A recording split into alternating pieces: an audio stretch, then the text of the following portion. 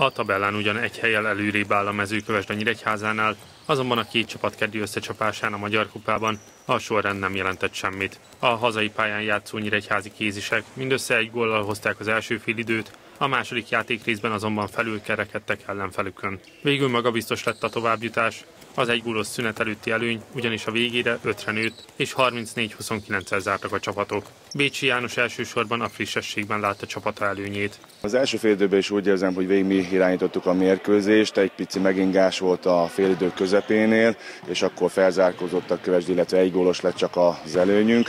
A második félidőben meg úgy gondolom, hogy mivel mi nagyobb játék lehetőséggel rendelkezünk, illetve több játékos variációnk volt, a cserepadunk egy picivel hosszabb volt, mint a mezőkövesd, és ez ki is jött a folyamán.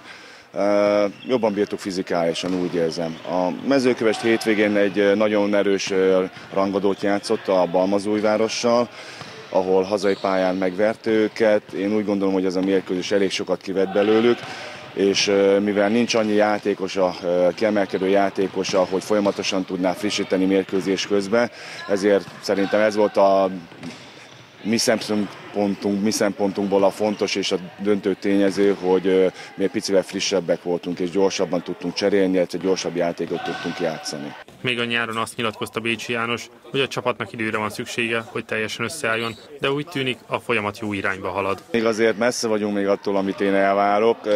Tény és való, hogy most már azért kezd egy picit pozitív átvillanni a mérlegünk, és vannak fel olyan dolgok, amik már úgy látom, hogy mérkőzésen már tudatosan jönnek elő, de még, ahogy mondtam, még nagyon hosszú után előttünk, és még mindig azt mondom, hogy szerintem ez a csapat tavaszra lesz az a csapat, amelyiket mi szeretnénk, és a jövő csapatába elképzelünk. A csapatépítést vasárnap Balmazújvárosban folytathatja Bécsi János együttese, ahol a nyíregyházi vezetőedző kiélezett küzdelemre számít, hiszen egy tavaly még élvonalban szereplő gárda ellen lépnek pályára.